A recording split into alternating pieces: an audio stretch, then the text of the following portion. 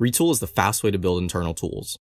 You can use it to connect pre-built, drag and drop front-end components, like tables, buttons, and forms, to custom backend functions, like SQL queries and API requests. Retool automatically takes care of overhead logic, such as triggers and security, while leaving flexibility to make things custom, so you can focus on what really makes your internal tool unique. In this tutorial, you'll learn how Retool works, and create your first internal tool from scratch. Home screen walkthrough. This is your home screen.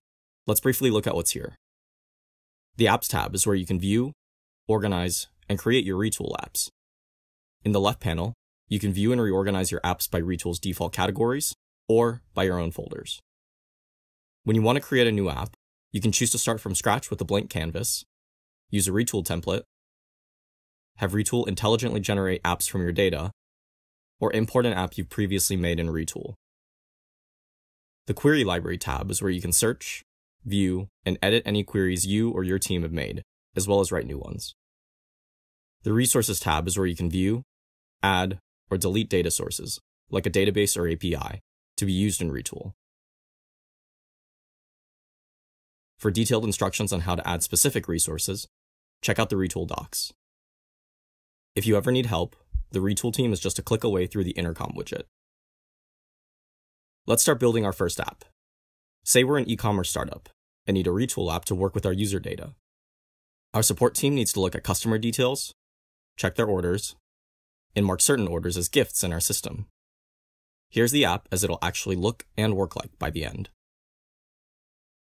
Let's start building this app in the app editor. From the Retool homepage, click Create New, and then Create a blank app. App Editor UI Overview. Let's take a look at what's in the App Editor. The production and staging buttons allow you to choose whether you want your app, while you're building it, to use data from a production database or data from a staging database. You can choose whether a database is for production or for staging when setting up a resource. In the center, you have your canvas, where you'll drag and drop the front-end elements for your app. In the right panel, you have access to a large selection of components, such as tables, buttons, and forms. You can also use the inspector to modify an existing component by clicking on the component. In the bottom panel, you have your query editor, where you can view, edit, and add new queries to fetch or modify your data. You also have your transformer editor, which lets you transform your query's results with JavaScript. In the left panel, you can view the state of your app, including what and how components, queries, or constants are being used. You can hide any of these panels at any time using these three buttons.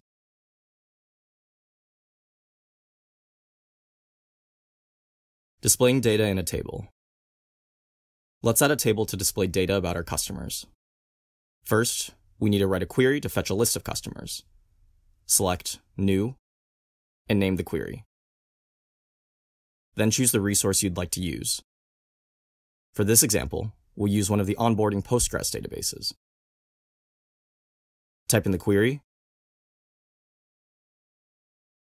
and click the play icon to preview the data.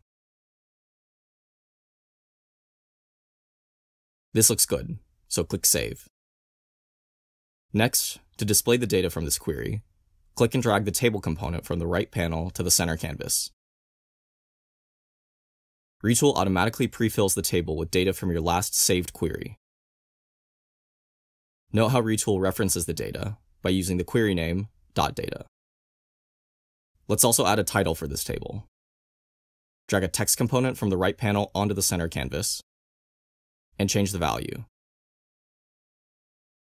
Text components can render as either Markdown or HTML, so we can quickly add some basic formatting adding a search input. Let's add a text input component to this table so we can filter the data by a customer's first name. Drag a text input component from the right panel to the center canvas. Change the label name so the input's purpose is easy to understand.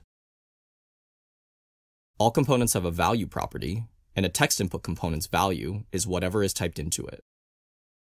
Currently, the table is displaying data from our customer's query, we can modify it to filter by our text inputs value by adding a where clause to the query, and referencing the value of our text input. Not text input one dot value also ensures that the table displays all customers if there is nothing in the text input.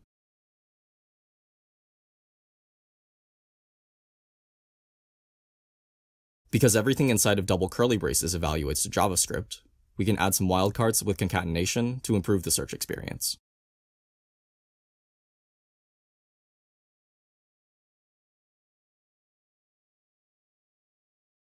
Now we can type part of a word and still get back useful results.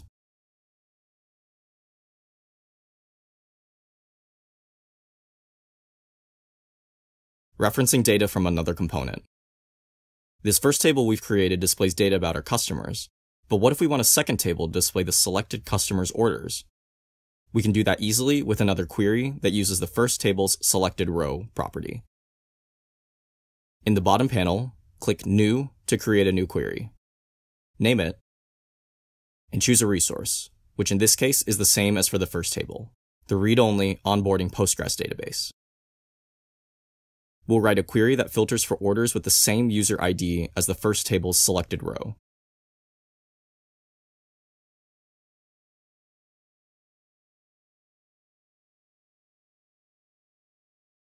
Now that we have this new query, let's add a second table component to display its data.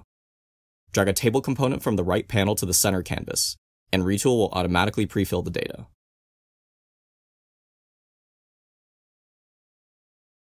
These orders aren't sorted, so let's modify the query to also order by ID.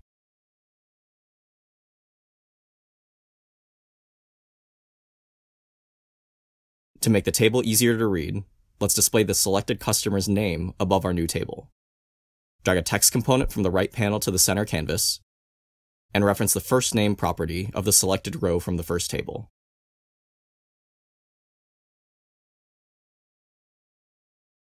The text component will now update when we click on a different customer. Writing data with an API and with SQL. Something you can do in Retool that you can't in many other BI or low-code tools is write data back to your database. Let's do that by marking an order as a gift with an API request and with SQL. To write data with an API request, set up an API endpoint. For this example, we've already set up an orders endpoint. In the bottom panel, click New to create a new query. Name the query, and select the resource, which in this case is the onboarding API set the action type to put, and our orders endpoint requires we pass along the order ID. Edit the parameters, headers, and body as required. To mark the gift property, we'll type that in for the key and set the value to true. We also want the data in the second table to refresh after the query runs so that we can see the effect of our API call. Scroll to the bottom of the panel and select the Orders query to rerun after the Mark Gifts query runs successfully. To allow the user to trigger this query with a button, drag a button component from the right panel onto the center canvas, give it the label Mark as Gift, and choose the Mark Gifts query to run on click. Let's test our new button. As you can see, the gift field changes when we click Mark as Gift.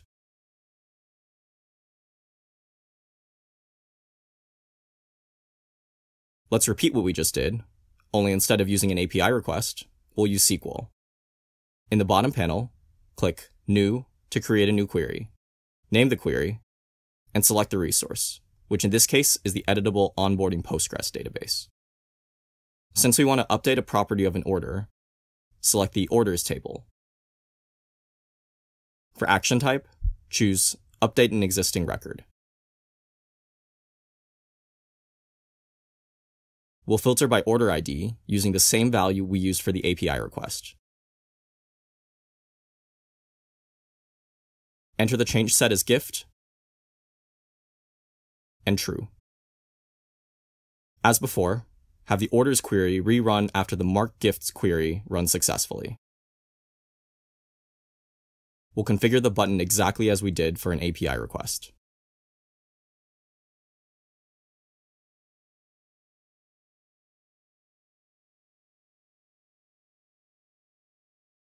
Once again, you can see that the gift field changes when we click Mark as Gift. Creating and using a JSON schema form. We've now created two tables, one which fetches and displays data about our customers, and one which displays data about the orders for a selected customer. What if we wanted to add a new order to a customer's existing orders? We can do that with a form. Retool has two types of forms. A simple form is just a container with a submit button. You choose which form fields you want, such as text inputs, dropdowns, or checkboxes, and then connect the submit button to a custom query. A JSON schema form is a form which auto-generates from your database schema, which can save you time if you're using it to add a row to your database. For this example, we want to add an order to our database, so we'll use the JSON schema form. Drag a JSON schema form component from the right panel to the center canvas. Click Generate Schema from a database, and choose the resource and table, in this case, the orders. Click Use generated schema. After creating our form, we need to create a query to run upon form submit. In the bottom panel, click New to create a new query. Name it, and select the editable onboarding Postgres database resource. Select the Orders table,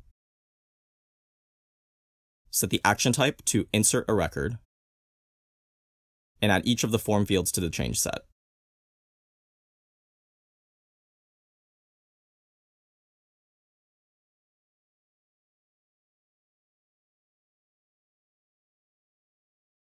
Be sure to have the orders query rerun after this query runs successfully.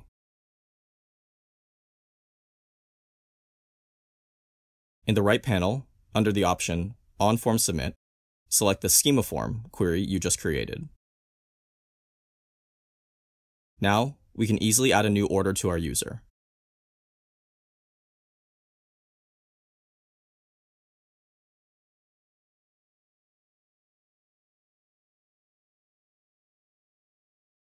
Here's the new row that we just added through our form.